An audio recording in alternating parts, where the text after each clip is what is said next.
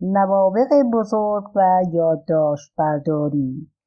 وقتی استفاده از نقشه ذهنی را شروع می کنید به جمع مغزهای متفکری می پیوندید که همگی از عناصر اصلی نقشه ذهن استفاده کردند تا ایده هایشان را به تصویر بکشند و به این ترتیب به آنها و سایرینی که جهش های خلاقانه عظیمی در شیوه های خود داشتند کمک می کنید. این نوابق عبارتند است لئوناردو داوینچی که به عنوان مغز متفکر هزاره گذشته انتخاب شده است. میکلانش هنرمند و پیکرتراش بزرگ. چارلز داروین زیستشناس بزرگ. اسحاق نیوتون کاشف قانون جاذبه. آلبرت انشتین کاشف قانون نسبیت. چرچیل رهبر سیاسی و نویسنده نامدار. پیکاسو که چهره قرن هنر قرن بیستم را متحول کرد. ویلیام بلیک انگلیسی رویابین هنرمند و شاعر. ادیسون مخترع برق. گالیله که مشاهدات نجومیش جهان را متحول کرد. توماس جفرسون دانشمند و بنیانگذار قانون اساسی آمریکا. ریچارد فینمن برنده جایزه نوبل در علوم. ماری کوری برنده دو جایزه نوبل در شیمی و پرتوشناسی. مارتا گراهام رقصنده و طراح بزرگ رقص. تد هیوز شاعر مشهور و فقید انگلیسی که همواره به عنوان بزرگترین شاعر قرن بیستم مورد ستایش قرار گرفته است. شما در جمع خوبی قرار گرفته اید. در واقع به نظر می رسد بخش اعظم رونسانس کامل ایتالیا از طریق آن گروه از نوابق بزرگ خلاقیت ایجاد شده که از زندانهای تفکر خطیشان گریخته بودند. آنها افکار و ایده هایشان را نه فقط به وسیله خطوط و کلمات بلکه به وسیله زبان قوی تصاویر نقاشی ها نمودارها کتها مجله ها طراحی ها و غیره قابل رؤیت کرده بودند. شرح حال لئوناردو داوینچی. شما کافی است نگاهی به یادداشت‌های لئوناردو داوینچی مثال بارز یک نابغه بزرگ خلاقیت که از زبان تصویر برای تولید هزاران ایده درخشان و جدید استفاده کرده بیاندازید لئوناردو از تصاویر نمودارها علائم و تمثیلها برای بیرون ریختن افکار انباشته در ذهنش استفاده می‌کرد. یادداشتهای اصلی لئوناردو به دلیل اینکه نشان دهنده هوش خلاق و درخشانش بودند در زمره با ارزشترین کتابهای جهان قرار دارند. این طرحها به لئوناردو کمک می‌کردند تا در حوزه های هنری طبیعی مهندسی دریانوردی و زیستشناسی تا جایی که ممکن است در میان افکارش به کاوش بپردازد برای لئوناردو زبان کلمات نسبت به زبان تصاویر در مرحله دوم قرار می گرفت و برای طبقه بندی یا تشریح افکار خلاقانه و کشفیاتش به کار می رفت. در واقع ابزار اصلی تفکر خلاق او زبان تصاویر بود. شرح حال گالیله گالیله یکی دیگر از نوابق بزرگ تفکر خلاق در جهان بود که در اواخر قرن شانزدهم و اوایل قرن هفدهم با استفاده از شیوه های یادداشت برداری خود به انقلاب علمی کمک کرد. هنگامی که هم هایش از شیوه های ریاضی و کلاسیک و سنتی برای تجزیه و تحلیل مشکلات علمی استفاده می کردند، گالیله مانند لئوناردو افکار خود را به وسیله مثالها و شکلهای هندسی قابل مشاهده به تصویر کشید. جالب است بدانید که گالیله مانند داوینچی رویابینی بزرگ بود. طبق همان ماجرایی که امروزه تحت عنوان افسانه چراغ مشهور است گالیله وقتی بی هدف نوسان آرام و جلو عقب رفتن چراغهای آویزان از سقف کلیسای بزرگ پیزا را تماشا می‌کرد به تجربه نوعی دست یافت گالیله دریافت که مهم نیست چند چراغ در حال نوسان باشند. آنها همیشه به زمان یکسانی برای پر کردن یک نوسان کامل احتیاج دارند. گالیله مشاهداتش را در قانون پاندول توسعه داد. این قانون برای اندازهگیری زمان و ساخت ساعت پاندولی به کار برده شد. شرح حال ریچارد فینمن. ریچارد فینمن برنده جایزه نوبل فیزیک در همان جوانی متوجه شد تصورات و مشاهدات ترین بخش فرایند تفکر خلاق هستند. مثلا او با تصوراتش بازی می‌کرد. و اینطور فکر می‌کرد که خودش در حال طراحی است. فیلمن هم مانند گالیله بیشتر روش های یادداشت برداری های رایج همدوره هایش را کنار گذاشت و تصمیم گرفت تجربه کوانتوم الکترودینامیکی را با نگاهی تازه و اشکال هندسی و نمودار کامل کند. دستاوردهایش که معروف به نمودار مصور فیلمن است نمایش دهنده اثر متقابل ذرات بر یکدیگر هستند و همکنون توسط دانشپژوهان سراسر جهان برای کمک به درک و یادگیری و ساخت ایدههایی در زمینه فیزیک و علوم عمومی استفاده می شود. فیلمن به تصوراتش که آنها را در اتومبیلش ترسیم می کرد افتخار می کرد. شرح حال آلبرت انشتین آلبرت انشتین مغز متفکر قرن بیستم هم استانداردهای خطی رایج شکلهای عددی و شفاهی را از تفکر خلاق کنار گذاشت و مانند لئوناردو داوینچی و گالیله که قبل از او میزیستند اعتقاد داشت که این ابزار مفیدند ولی چندان ضروری به نظر نمی‌رسند. و تصورات مهمترند. در واقع این انشتین بود که گفت تصورات مهمتر از دانش هستند. برای تصورات محدودیت وجود ندارد. او در ای به دوستش موریس مشکلش را در استفاده از کلمات برای بیان فلسفه علم تشریح کرد. او با این شیوه فکر نمی کرد بلکه بیشتر به صورت نموداری و با استفاده از ارتباط و تلفیق قوه تخیل در امور تجربی فکر می کرد.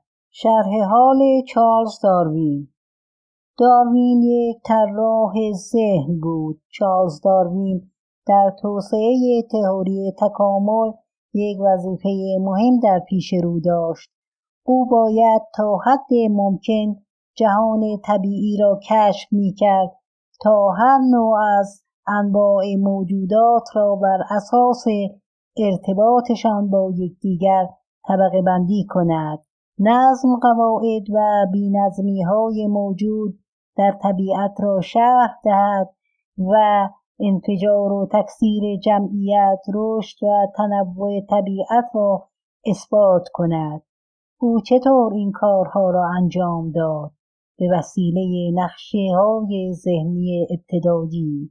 داروین یک نقشه ذهنی ابتدایی را با استفاده از نشانه هایی که بسیار شبیه به شاخه های درخت و تقریبا مانند تمرین تفریح که قبلا آن را شهر دادیم بود.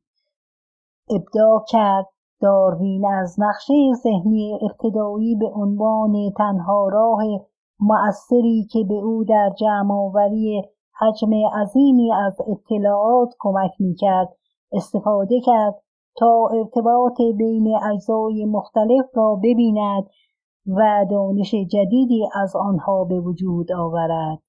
می‌گویند ظرف پانزده ماهی که طول کشید تا او اولین نمودارش را ترسیم کند تمام اجزای اصلی نظریه تکامل را به دست آورده بود اکنون که به دانش نقشه ذهنی تفکر خلاق دست پیدا کردید می توانید تمرین خلاقیت را شروع کنید. تمرین خلاقیت یک در یادداشتهایتان از رنگ استفاده کنید. همیشه در یادداشتهایتان از رنگ استفاده کنید. با یک خودکار چهار رنگ شروع کنید و همچنان که پیش می روید رنگهای دیگر را هم به کار گیرید. رنگ یادداشتهای شما را جالبتر می کند. فرایند تفکر خلاق شما را برمیانگیزد. رنگها به طور طبیعی به زندگی شما جلوه تازه می بخشند. دو رویای روزانه و رویای شبانه خیال بافی در بیداری و رویای شبانه هر دو توان خلاقیت بسری شما را تقویت می کنند. ایده ها و تصاویر بهترین تخیلاتتان را یادداشت کنید. ترجیحاً به صورت یک نقشه ذهنی. این کار باعث می شود که در یادداشت برداری به شیوه نقشه ذهنی دید بهتر و روشنتری پیدا کنید. 3. به صورت تابشی فکر کنید. یک بار در هفته هر کلمه یا مطلبی را که به آن علاقه دارید در نظر بگیرید و همان بازی تفریح را به صورت شاههای تابشی اولیه با آن انجام دهید. این کار مهارت شما را در به وجود آوردن نقشه های ذهنی تقویت می کند. چهار نقشه ذهن هر وقت با یک مشکل در زمینه بروز خلاقیت مواجه می شوید و دلتان می خواهد آن را حل کنید یک نقشه ذهنی بکشید. این کار را به این ترتیب انجام دهید.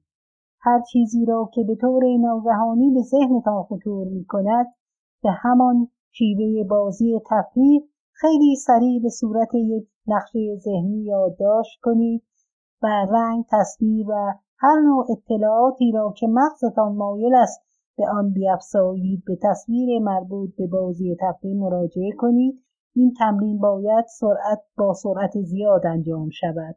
به مغزتان اجازه دهید برای چند لحظه دربارهاش فکر کند.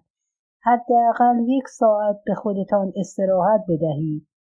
دوباره به سراغ نقشه ذهنیتان بروید و هر فکر جدیدی را که دارید به آن اضافه کنید. یک بار دیگر با دقت به نقشه ذهنتان نگاه کنید و سعی کنید میان هر کدام از عناصر شاخه های مختلف آن ارتباط جدیدی پیدا کنید. این عناصر را به وسیله کد رنگ یا فلش به هم مرتبط کنید. ارتباط اصلی جدید را مشخص کنید. بار دیگر استراحت کنید و به مغزتان اجازه دهید باز هم در موردش فکر کند دوباره به نقشه ذهنتان رجوع کنید و هر گونه ارتباط جدیدی را که می توانید در آن ببینید مشخص کنید. 5. یادداشت های نقشه های ذهنتان را دور نریزید. نابغه خلاق بزرگ دیگری که یادداشت برداری به صورت نقشه ذهنی قابل رویت را به کار می گرفت ادیسون بود. او این کار را به این دلیل انجام می‌داد که لئوناردو داوینچی هم چنین شیوه ای داشت.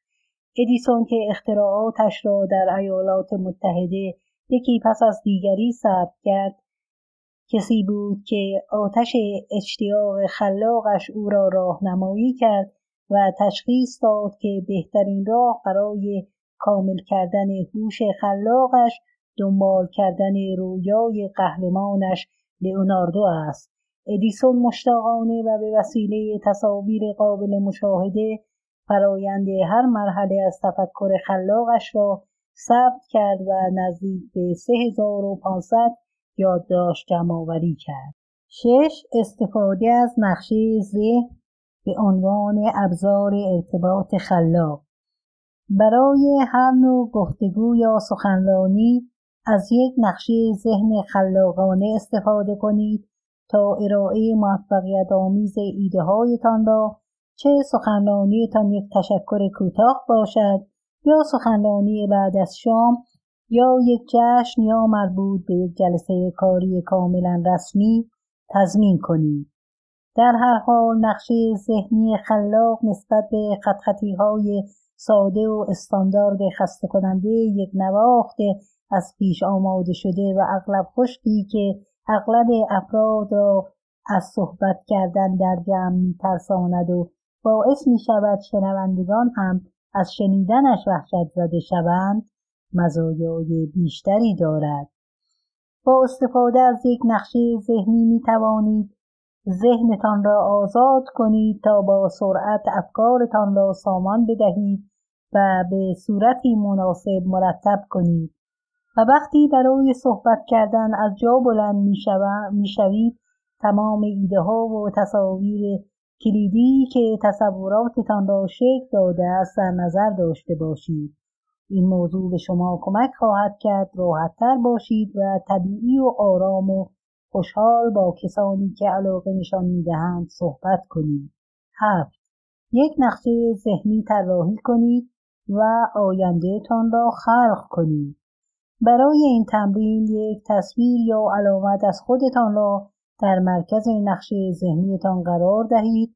به عنوان شاخه های اصلی منشعب شده از آن موضوعاتی مثل مهارت تحلیل سفر خانواده شغل دارایی سلامت دوستان اهداف سرگرمی ها و غیره را در نظر بگیرید. در این نقشه ذهن آینده ایدئالتان را ترسیم کنید. بقیه زندگیتان را همانطوری که خلق کنید که پول چراغ جادو آرزوهایتان را برآورده می کرد.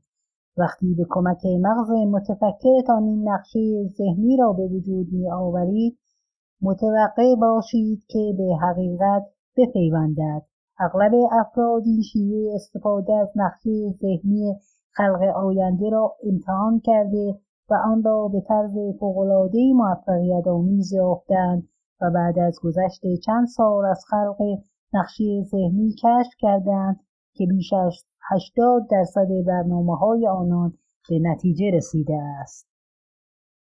8.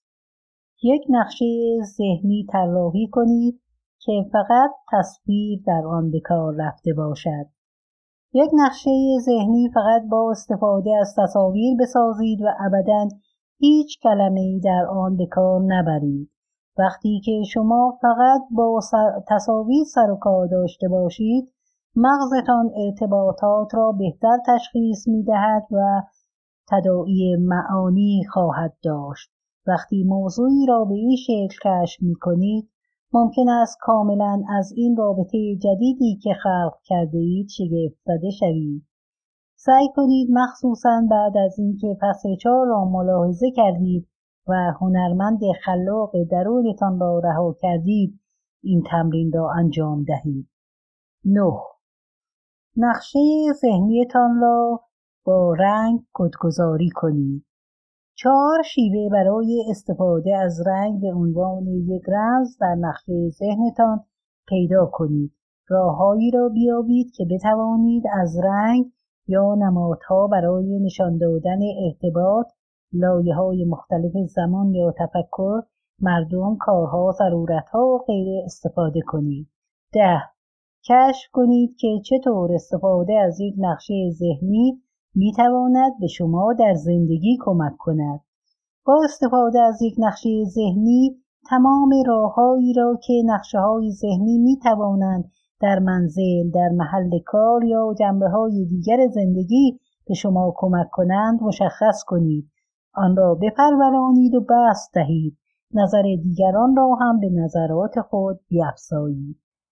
فصل چهارم شما هنرمند خلاق هر کسی و واقعا هر کسی به طور مادرزاد یک هنرمند است.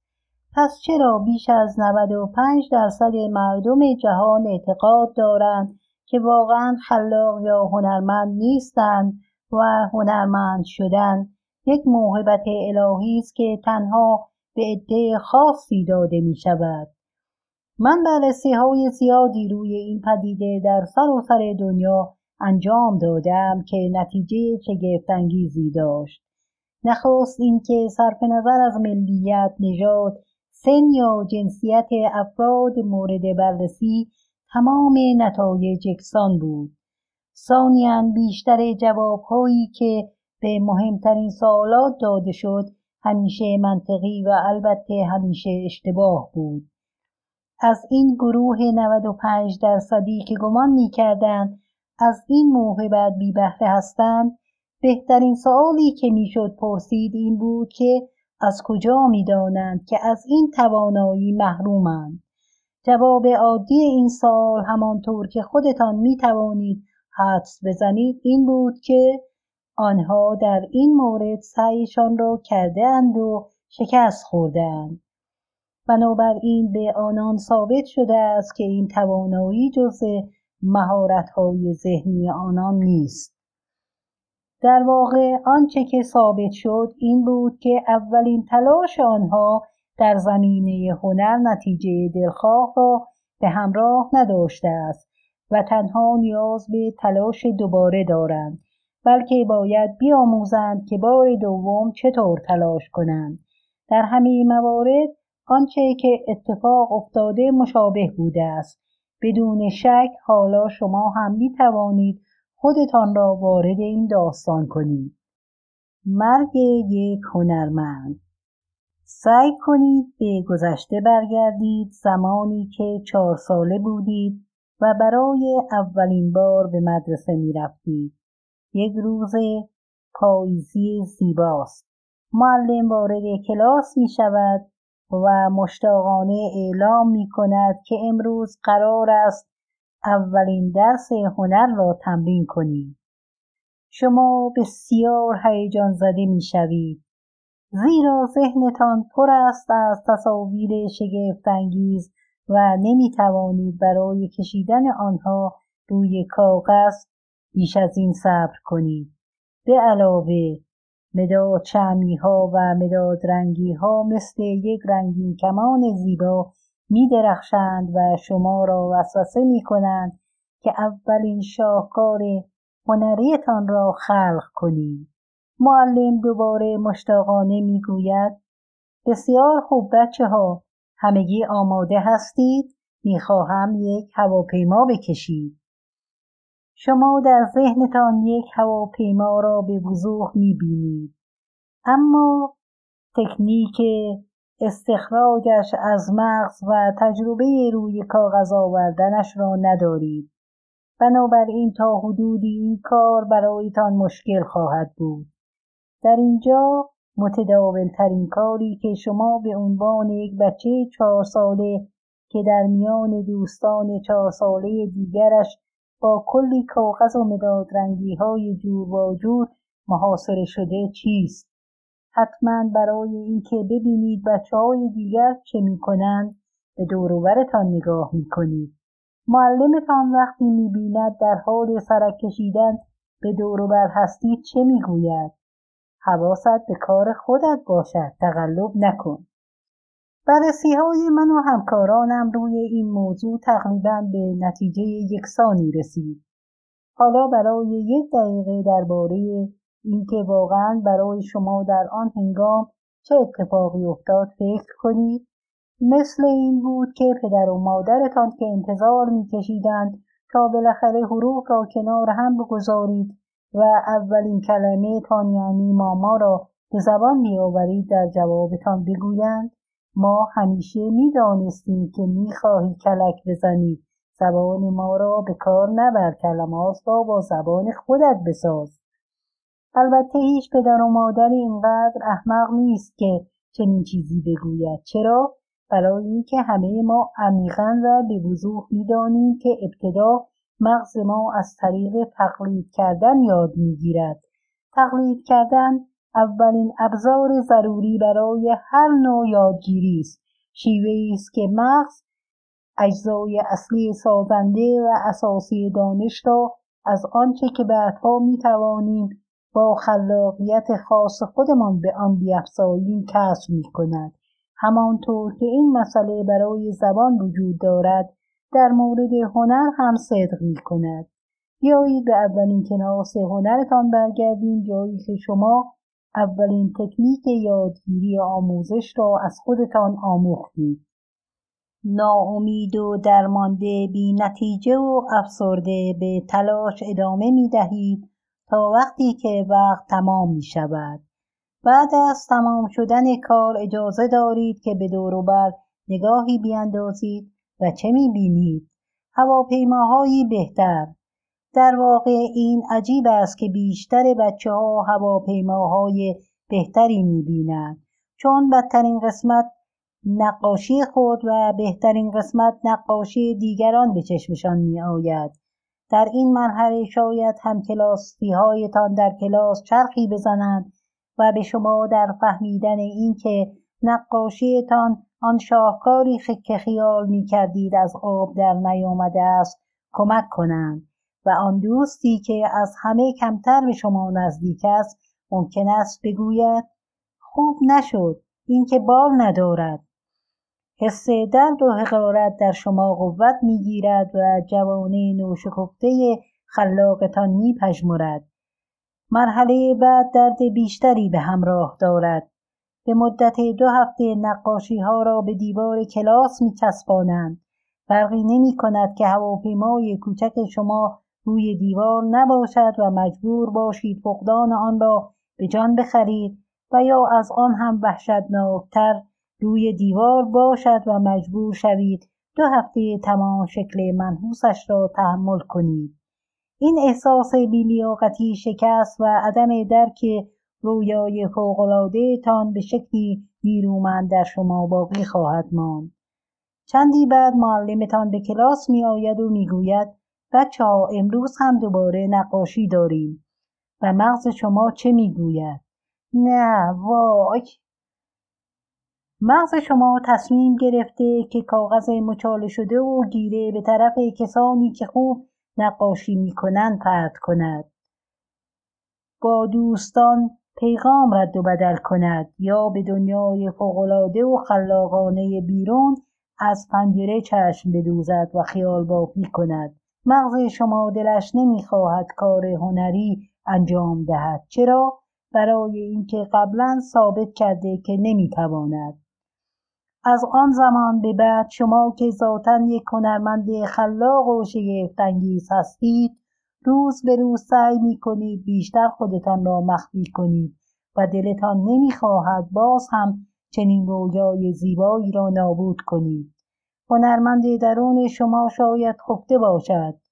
آن رویا هنوز باقی است و می توانید دوباره اوج بگیرد و درست همانطور که قبلا می توانست باشد.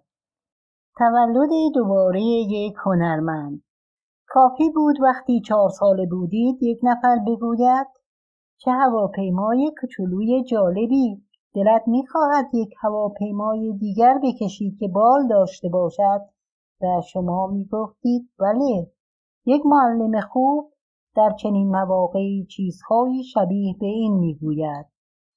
خب کافی است که دو خط کوچک اینجا و دو خط کوچک هم آنجا بکشی حالا هواپیمایت بال هم دارد و اگر دلت بخواهد می توانی هواپیماهای بهتر و قشنگتری هم بکشی.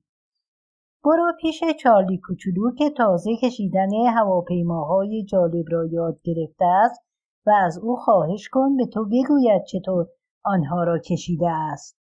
اگر این روش را پیش می گرفتید و ادامه می‌دادید شما یاد می گرفتید که الفبای بسیار ساده نقاشی واقعا چه چیزهایی است و شما هم امروز یک هنرمند خلاق چیره دست از آب در می آمدید. آنچه که در ادامه این فصل آمده است به شما امکان می دهد که آتش رویاهایتان را دوباره برافروزید و دست به کارهایی بزنید که خودتان خانوادهتان و دوستانتان را به حیرت بیاندازد. بازی هنری خلاق شماره یک انجام کار محال من در این تمرین سعی دارم بال دیگر شما را به زمانی که چهار سال بودید برگردانم و می‌خواهم کارتان را به عنوان یک هنرمند دوباره شروع کنید برای اطمینان از بدون اشکال و جدید بودن این شروع از شما می‌خواهم از آن دستی استفاده کنید که معمولا برای نوشتن یا نقاشی کردن استفاده نمی کنید. چرا؟ برای اینکه قبلا هرگز با این دست چنین کاری انجام ندادهید و این می‌تواند یک شروع کاملا جدید باشد. این تمرین به این شرح است. شما در صفحه 78 مربع هایی می‌بینید که هر کدام با یک عدد و یک حرف مشخص شدهاند و با خطوطی در اندازه ها و زوایای مختلف پر شدهاند. داخل هر کدام از مربع های این طرح طرح شطرنجی خطوطی به چشم می‌خورد در صفحه روبروی این صفحه یعنی صفحه 79 جدولی وجود دارد که با حروف الف تا ج و اعداد یک تا هفت شماره گذاری شده است. کار شما این است که با استفاده از دستی که معمولا از آن استفاده نمی کنید با دقت هر یک از این خطوط را در مربع مربوطه در جدول دوم رسم کنید. وقتی کارتان تمام شد هر مربع را خیلی سریع بررسی کنید تا مطمئن شوید تا حد ممکن کار را بدون نقص انجام دادید. بعد و حتما بعد از تمام شدن کار کتاب را سر کنید تا ببینید چه چیزی خلق کرده اید. پس از آن عکس خود را در قسمت زیر یادداشت کنید. آیا شما یک نابغه خلاق نیستید؟ با دست تمرین نکرده استفاده نشده و ضعیفتان یک کپی قابل قبول از کار بزرگترین نابغه خلاق لئوناردو داوینچی کشیده اید. چطور توانستید این کار را انجام دهید کاملا ساده است چون مغز شما از روشی استفاده می کند که قبلا اصلا آن را نمی شناختید و این برای همه هنرمندان از جمله خود شما و همه متفکران خلاق باز هم از جمله خود شما امری طبیعی است. این روش به سادگی اجازه می دهد که از قدرت اندازگیری چیزها از طریق ترکیب چشم و مغز یعنی دقیقا همان هدفی که برایش آفریده شده اید استفاده کنید. وقتی مغز شما این امکان را پیدا می کند که بدون دخالت افکار منفی مانند هنر فقط یک احساس است من در هنر خوب نیستم من هرگز قادر به انجام این کار نیستم. نقاشی کشیدنم بیفایده است و غیره چنین کاری را انجام دهد. آنگاه شخص می تواند دقیق ببیند با دقت اندازه گیری کند دقیق نمونه برداری کند و در نتیجه به صورتی طبیعی مانند سایرین نقاشی کند. در این مورد فکر کنید.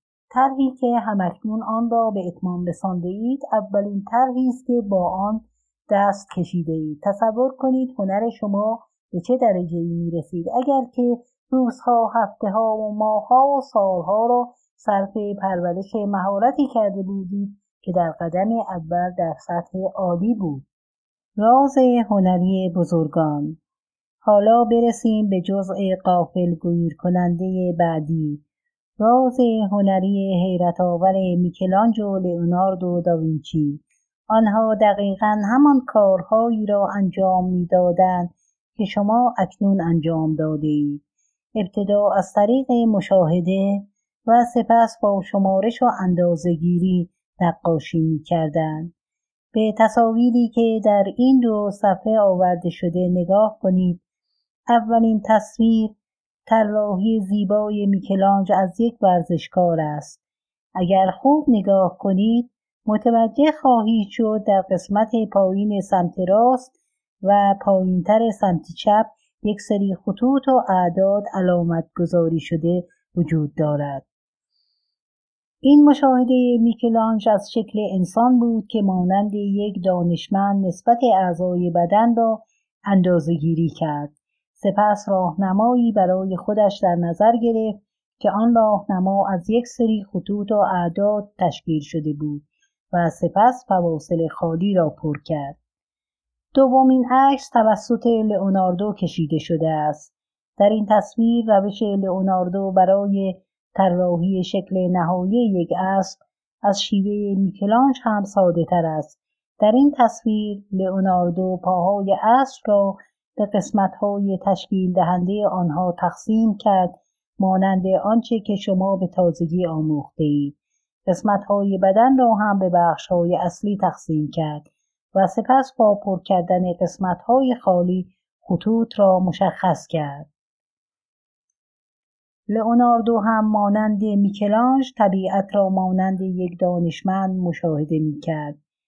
این مشاهده با استفاده از استعداد طبیعی چشمهایش در نگاه کردن به منظور ایجاد کاری که ما اکنون آن را شاهکار مینامیم بود. هم میکلانج و هم لئوناردو فعالانه قدرت مشاهده خود را پرورش می‌دادند و سپس با استفاده از اعداد طراحی می‌کردند. همه هنرمندان مشهور به طور ناگهانی و به اختیار طراحی نکردند. پیش از هر چیز آنها با دقت به مشاهده چیزی که می‌خواستند بکشند میپرداختند. سپس آن را تجزیه و تحلیل و اندازهگیری می‌کردند و بالاخره آن را از چشم ذهنشان روی کاغذ میآوردند. در واقع لئوناردو ترجیح می‌داد مردم به جای اینکه او را یک هنرمند اسیری غرق در اوهام بدانند او را یک تصویرگر طبیعی تلقی کنند. در تمرین بعدی خلاقیت شما فرصتی خواهید داشت تا مهارت‌های کشف شده جدیدتان را افزایش دهید اما در ابتدا یک کشف حیرت انگیز دیگر خواهید داشت. شما چنان هنرمند خارق‌العادهای هستید که نمی‌توانید نقاشی نکنید. بازی هنری خلاق شماره دو در این بازی خلاقانه می‌خواهم تعدادی از اشکال اصلی یک نقاشی را در اختیار شما قرار دهم که بیشتر شبیه بلوکه های چوبی بازی بچه ها هستند این قطعات شامل شکلهای ساده از بیزی، مثلث، مربع، مستطیل و غیره است. این بازی به این منظور است که بتوانید کارتان را با اشکال مختلف موجود در طبیعت شروع کنید. این اشکال در شکل زیر نشان داده شدهاند و شامل دایره خطوط راست و خطوط خمیده هستند. می توانید اشکال دیگری را به دلخواه خود به آنها اضافه کنید تا تصاویر جدیدی در برابر چشمان مغز شما نمایان شود از این های ابتدایی استفاده و تصویرتان را از آن طور که مغزتان می‌خواهد کامل کنید. وقتی این تمرین را انجام می دهید به مغزتان امکان می دهید که از توان حیرت انگیزش هنگام نگاه کردن به ابرها چشماندازهای پوشیده از برف یا نقش های روی ها و صخره ها و درون شعله های رقصان آتش استفاده کند. و در آنها انواع و اقسام حیوانات، هیولاها، صورتها و مناظر را ببیند. در دومین طرح صفحه مقابل نمونه های از شش شکل ابتدایی وجود دارد که قبلا به چهار تا از آن خطوط مختصر دیگری هم اضافه شده است. اگر بخواهید می توانید هر شکلی را به آنها اضافه کنید یا به صفحه 99 مراجعه کنید و ببینید این خطوط به خصوص چطور توسط یک هنرمند کامل شدهاند. گاهی اوقات شکل با چرخاندن صفحه واضح می شود به طوری که زوایا و ابعاد مختلف تصویر نهایی ناگهان در مکان مناسبی قرار می گیرند. اکنون شما به این سلاح مجهز شده اید که خلاق هستید ذاتا هنرمندید و حتی می توانید با دستی که هرگز تا قبل از این از آن استفاده نکرده بودید نقاشی کنید همچنین به شیوه عملکرد بزرگترین هنرمندان خلاق تاریخ و ابزار کار اصلی آنها پی می‌برید و می توانید از آنها در بهبود بخشیدن توانایی های عظیم خلاقیت هنری خود استفاده کنید. پس وقت آن است که تمرین خلاقیت را شروع کنید. تمرین خلاقیت یک خط خطی کنید. روی یک کاغذ سفید و با استفاده از اشکال ابتدایی که در بالا شهر دادیم شکلهای ابتدایی دیگری را به صورت اتفاقی رسم کنید تا زمانی که هر کدام از آنها به یک تصویر قابل فهم تبدیل شوند. دو فوتوفن اندازهگیری کردن یک هنرمند خلاق را یاد بگیرید آیا تا به حال وقتی که یک هنرمند واقعی را در حال انجام کار تماشا می کردید یا به هنگام دیدن یک فیلم از مشاهیری مانند میکلانج توجه کرده اید که آنها دائما کارهایی انجام می دهند که غیرعادی و عجیب و غریب به نظر می رسد. مثلا قلم یا مداد خود را با دست صاف در هوا نگاه می دارند و حرکت می دهند. کم کم دارد دستگیرتان می شود که چطور آنچه که آنان انجام می‌دادند باعث موفقیتشان شده است و می تواند به شما هم کمک کند که خلاقیت خود را افزایش دهید. وقتی با دیگران هستید یا می توانید آنها را از فواصل گوناگون ببینید یک قلم یا مداد بردارید و آن را در امتداد بازویتان بگیرید و سر افراد مختلف را اندازگیری کنید.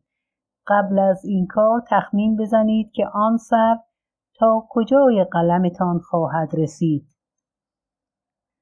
طریقه اندازگیری این طور است که سر قلم را همسر با بالای سر فرد بگیرید بعد شستتان را روی قلم پایین بیاورید تا جایی که با خط انتهای چانه آن شخص در یک ردیف قرار بگیرد. این کار را به همین طریقی که ذکر کردم در مورد افراد مختلف در فواصل دور و نزدیک انجام دهید نتیجه این تمرین شما را با یک وسیله کاملا علمی هنری و خلاقانه برای دیدن آشنا می کند که برای تمام نوابق آسیا، هند، خاورمیانه و یونان ناشناخته بود تا اینکه 600 سال پیش توسط کسانی کشف شد که در رنسانس ایتالیا نوع خلاقی ایشان به شکوفایی عظیمی رسیده بود. 3. می توانید کارتون بکشید؟ البته که می توانید. در زیر چند چهره کارتونی می بینید که در به تصویر کشیدن حالات مختلف احساسات صورت به کمک کمک می کنند.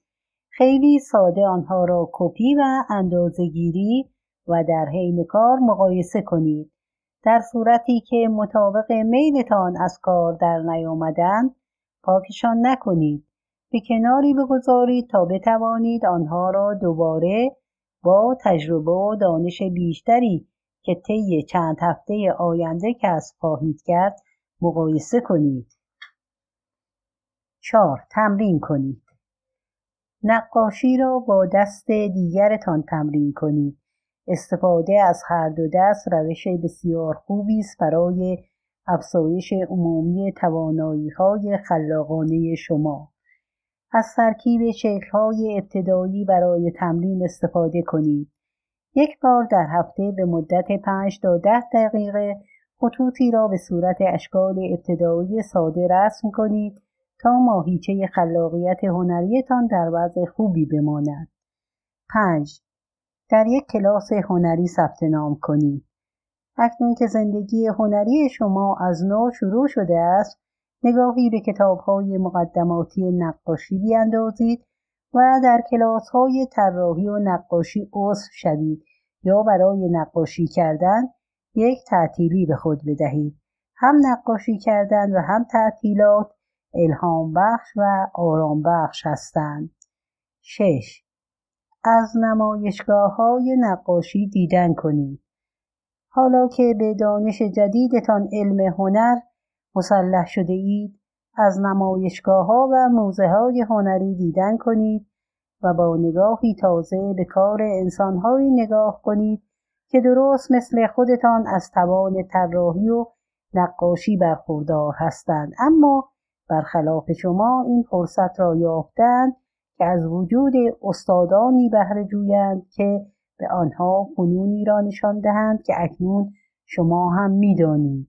آنها از کار استادانشان و مشاهیر بزرگتر از خود تقلید کردند شما هم از آنها تقلید کنید.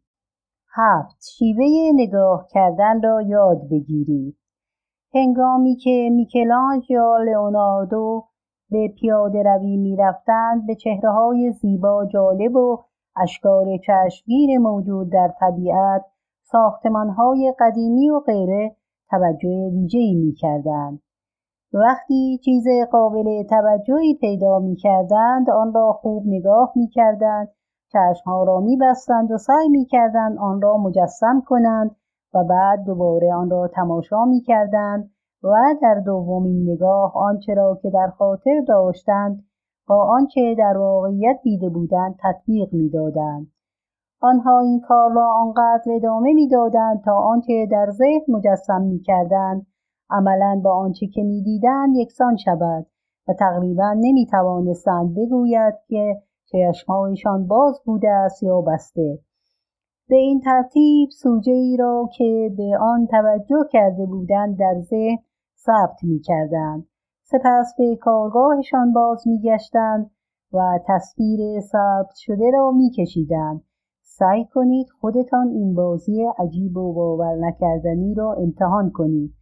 اگر این کار را تکرار کنید متوجه خواهید شد که تواناییتان در طراحی و همچنین تواناییتان در دیدن و به یاد آوردن به یک میزان بهبود یافته است. هشت به یک فروشگاه وسایل هنری بروید و در آن کاوش کنید. کلاس های هنری محل خودتان را پیدا کنید نگاهی به مطالب کتاب ها و مجلات جالب بیاندازید و از همه مهمتر برای خودتان یک دفتر خاطرات تر... خاطرات طراحی بخرید که بتوانید به سرعت ایده های خلاقانه تان را یادداشت کنید و به خصوص تصورات ذهنیتان را هرچه بیشتر ثبت کنید.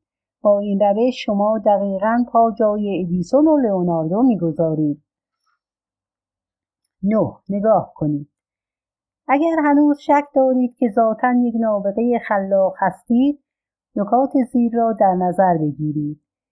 خاطره هر چیز زیبا با شکوه پیچیده و فوقالعادهای را که تا به حال دیده اید مرور کنید. اگر در حالتی هستید که در اطرافتان چیز جالبی وجود دارد همانطور که در حال خواندن این کتاب هستید سرتان را بلند کنید و به آن نگاهی بیاندازید. از آنجایی که ما از چشمهایمان برای دیدن استفاده می کنیم و چون سوژه واقعی آنی بیرون از چشمان ما قرار دارد وقتی به چیزی نگاه می‌کنیم دوست داریم فکر کنیم که آن سوژه بیرون از چشم ماست و ما فقط آن را می‌بینیم اما اگر آن چیز فقط بیرون از چشم وجود دارد چطور به درون سر ما راه پیدا می کند؟ آنچه که واقعا اتفاق میافتد این است که چشمان اجاب آور با شست میلیون اثر گیرنده نوری در هر ثانیه میلیاردها میلیارد فوتون نوری دریافت می کند که مجموعه این فوتون ها تصویر را به شما منتقل می کنند. سپس چشم شما این تصاویر را از انتهای عصب بینایی به قسمت عقب مغز منتقل می کند تا دنیای بیرون به طور کامل در درون سر شما از نو خلق شود. به عبارت دیگر تقریبا در هر ثانیه از زندگیتان که در بیداری گذشته است استاد هنرمند مغز خلاق شما به طرز قابل ستایشی در حال کشیدن تصویر کاملی از سوژه های واقعی بوده است. هر چهره زیبا و هر کوهستان پوشیده از برف هر غروب خورشید و طلوع هر گلی هر حیوانی و هر پرنده ای را که تا به حال دیده اید دوباره به طور کامل در مغزتان خلق کردید دوست با استعداد من شما پیش از این میلیون ها شاهکار خلق و نقاشی کردید ساده است دستهای شما هم می‌خواهند لذت ببرند و چیزهای بیشتری برای شما بیافرینند. چرا این امکان را به آنها ندهید؟ فصل پنجم. شما موسیقیدان خلاق. خوش آمدید به فصلی که در آن دلیل این را که چرا اکثریت قریب به اتفاق مردم جهان فکر می کنند خلاقیتی در موسیقی ندارند یا نمی توانند آواز بخوانند کشف خواهید کرد. شما درسهایی از پرندگان و استادان مسلم موسیقی فرا خواهید گرفت. و متوجه خواهید شد که تاکنون در بیشتر مواقع زندگیتان در حال نواختن حداقل دو آلت موسیقی پیچیده بوده اید و هزاران تصنیف موسیقی خلق کرده اید. به جز این بلکه در کارگاه خلاقیت خواهید آموخت که چطور قابلیت های حیرت انگیز خودتان را پرورش دهید. 95 درصد مردم جهان گفته بودند که می‌دانند واقعا آهنگساز نبوده اند و هنر موسیقی را مانند سایر هنرها هدیه الهی می‌دانستند که به افراد خاصی بخشیده شده است. چرا چنین عقیدهای در مورد هنر خلاق وجود دارد؟ در موسیقی هم مثل کارهای هنری حتما مردم سعیشان را کردند که آهنگی خلق کنند و احساس کردند که شکست خوردند. اما آیا واقعا از عهده این کار بر نیامده اند یا اینکه صرفا از راز خلق موسیقی به طور فطری چیزی نمی‌دانستند؟ برای اینکه ابعاد این موضوع بهتر روشن شود بیایید ببینیم که پرندگان چطور این کار را انجام می‌دهند؟ پرندگان چطور موسیقی می‌سازند؟ در اوایل قرن اخیر یک موسیقیدان جوان به نام سوزوکی که اهل ژاپن بود علاقمند شد که بفهمد واقعا پرندگان چطور آواز می‌خوانند. میلیون ها ژاپنی در منازل خود پرندگان آوازخوان زیبایی را نگهداری می‌کردند و کلا در ژاپن مردم علاقه زیادی به نگهداری پرندگان دارند. سوزوکی تصمیم گرفت که بهترین مکان را برای مطالعه در مورد نحوه تولید آواز توسط پرندگان انتخاب کند. او یکی از خانه هایی را که محل پرورش و نگهداری پرنده ها بود و در آنجا چندین هزار تخم پرنده آوازخان و جوجه های کوچک در حال بیرون آمدن از تخم نگهداری می شدند را انتخاب و از آنجا بازدید کرد. سوزوکی با تعجب دریافت که جوجه های کوچک به طور طبیعی نمی توانند آواز بخوانند. آنها به استاد آوازخانی که در جای مخصوصی از این خانه توسط پرورش دهندگان نگهداری می‌شد گوش می‌دادند. بعد از چندین بار آزمایش جوجه ها بالاخره توانستند شبیه استاد خود آواز بخوانند. به بیان دیگر همانطوری که در مورد هنر و هنرمند مطرح شد پرنده های آوازخان کوچک یاد گرفتند قبل از اینکه خودشان استاد شوند بخوانند اما نه به طور اتفاقی یا در اثر رویدادی شانسی و جادویی بلکه به وسیله بهترین نوع تقلید و هزاران بار تمرین و ممارست واقعی واقعیتی که سوزوکی کشف کرد شامل مغز همه پرنده ها، حیوان ها و انسان ها می شود. آنها آن واقعیت این بود که خواندن و خلاقیت ساخت موسیقی مهارت آموختنی است که فقط با تقلید و تلاش دائم برای رسیدن به کمال به دست می آید. حالا که به این واقعیت پی بردید اجازه دهید نگاهی به گذشته بیاندازیم زمانی که شما آن نابغه خلاق موسیقی درونتان را که در حال شکوفا شدن بود نابود کردید مرگ موسیقیدان یک بار دیگر زمانی را که تازه راه رفتن را یاد گرفته بودید به یاد آورید. یک روز بهاری با شکوه است و شما و دوستانتان در پارکی پر از های بهاری پراکنده با گودالهای شنی تابها و سرسرهها های نزدیک به هم که می شود از آنها مثل نردبان بالا رفت و با مردمی که با سکهایشان قدم می‌زنند و دوستانشان را ملاقات می کنند در حال بازی کردن هستید. زیبایی درخشان و نشاطآور محیط شما را سرشار از لذت می کند و شما و دوستانتان در حالی که آن آلت موسیقی عجیب و غریب خود یعنی صدای خود را کشف کرده اید هر کدام نوتها را بلندتر از هر خواننده اپرایی تکرار می کنید و راههای متعددی برای تولید هر نوت پیدا می کنید. چقدر می توانید آن را بکشید؟ چه صدایی می توانید تولید کنید؟ و چه مقدار می توانید به آن تنوع دهید؟ در میان این سمفونی در میان این سمفونی قوی ایجاد شده که سگها مشتاقانه به آن ملحق می شوند پدر و مادرهای شما و دوستانتان سرتان میریزند و می‌گویند آواز نخوانید فریاد نزنید جیغ نکشید مزاحم بقیه مردم نشوید. شما یاد می‌گیرید که آزمایش صدا و کشف آن خیلی بد و ضد اجتماعی است. مدتی بعد در کلاس درس نشسته اید و مشغول انجام کاری هستید که ناخداگاه شروع به زمزمه کردن و آواز خواندن می کنید. بلافاصله دیگران به شما می‌گویند کافی است شما متوجه می شوید که باید آموختن و تمرین هنر را قطع کنید.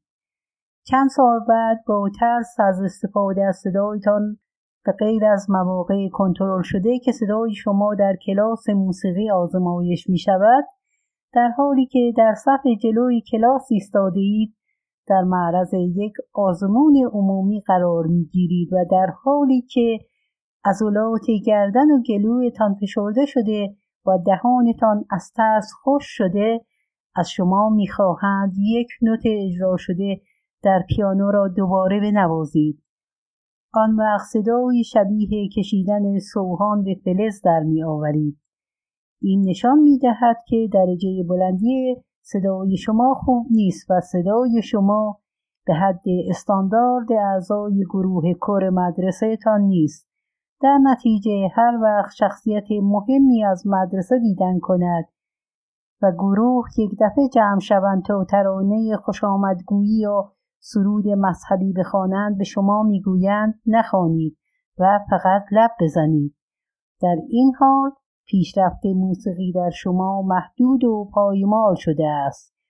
یک روز در حالی که مشغول دوش گرفتن در حمام هستید شروع می کنید به آواز خواندن و در حالی که از صدای خودتان لذت می‌برید از طبقه پایین فریاد می‌زنند و با خشونت و نامهربانی به شما می‌گویند ممکن است آن صدای وحشتناک را قطع کنید؟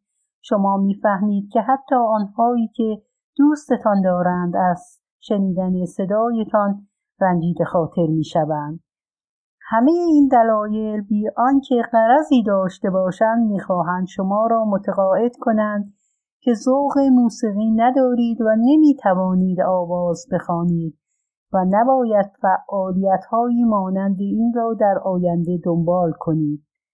حالا به یک فرد خلاق ترد شده که ذوق موسیقی ندارد تبدیل شده اید. اما آیا واقعا اینطور است؟ آیا دلایل آنها واقعی هستند یا اینکه برعکس شواهد و مدارک محکمی وجود دارد که اثبات کند شما به طور اجازآوری یک موسیقیدان ذاتا خلاق هستید